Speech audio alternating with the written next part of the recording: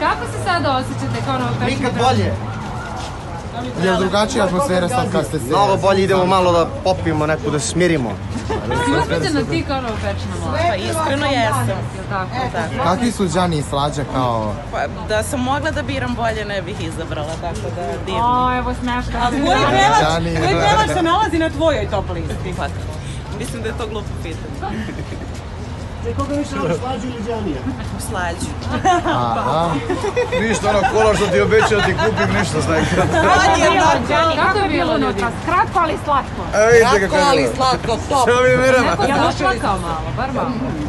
Meni je malo aritmija bila.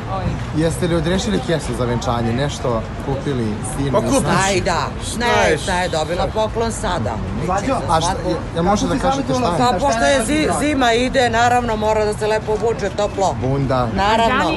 Đani, ti si danas oženio sina, ili sledeći Luka sa svojim, ko sad ženi? Pa mi imamo još jednog sina. Pa mali je, kako? Rekao nam je dogodine. Tek ćemo da se, tek ćemo da se veselimo. Opa, Narodno veselje. Ovo je Đanijeva veselje. dogodine, jel tako? Ne, ne, mlade još.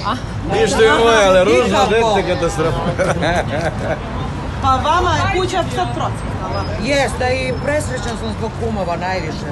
To su ljudi koje je moj sin odabrao, koje ja najviše u životu volim. Verujte mi, posle moje porodice oni su na drugom mjestu. Šta ste posavjetovali sina kada je brak u pitanju? Koji je bio prvi savjet sad kad je... Prvi savjet da se ugleda na tato, ali ne baš mnogo.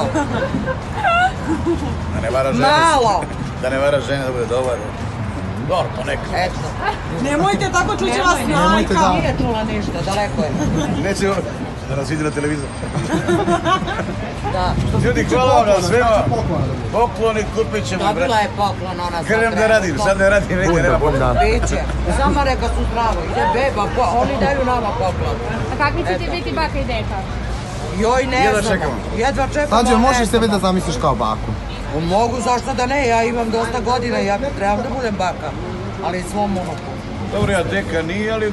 Pa tu smo. Pa boga mi, lepša je polovina, uvek lepša polovina. Meni to ništa nije strano, što ima veze baka. To je lepo. Ljudi, hvala vam na svemu, da ste živi zdravi.